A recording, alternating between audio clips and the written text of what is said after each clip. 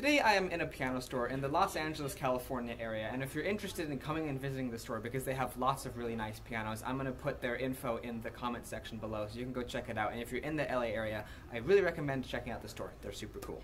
Anyway, I wanted to do a video here about the difference between buying a used uh, concert grand piano versus buying a brand new uh, concert grand piano and because there are some major, major advantages to buying a really, really high quality uh, used concert grand piano in great condition versus buying a brand new concert grand piano.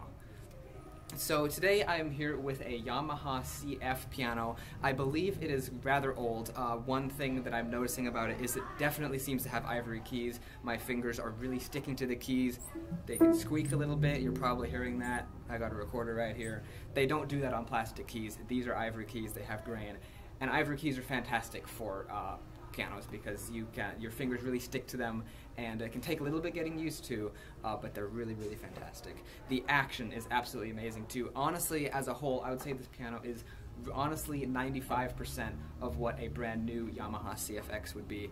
Uh, the action is really great, and I think with maybe a couple hours of regulation, it could really be brought up extremely close, if not on par, with a brand new piano. It, as it stands right now, it plays absolutely fantastically. It's responsive, it's quick, it's nimble. You can play light and slow and get a massive dynamic range out of the piano with the action that you have installed in it right now. And also, the sound of the piano is absolutely fantastic. It's it hasn't been played heavily throughout its life. In fact, I'm not sure how much has been played at all.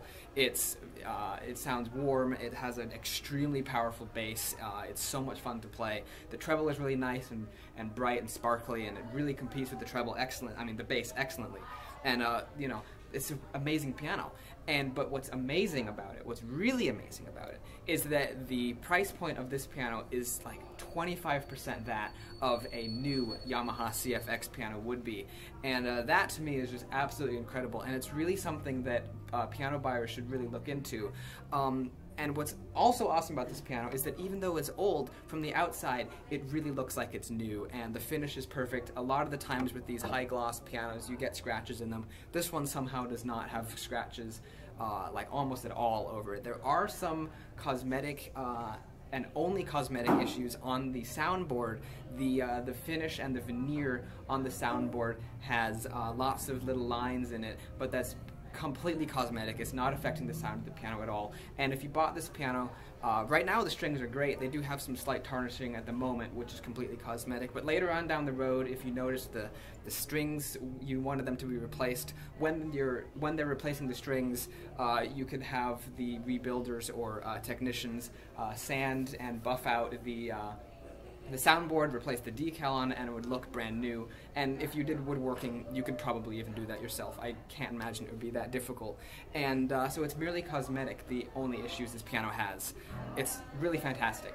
So that's really something to keep an eye out for when you're in the uh, market for a piano. If you're looking for a concert grand or really even any size piano, to look for extremely high quality used pianos versus brand new pianos because you'll save a lot of money and you'll still get a really, really good piano.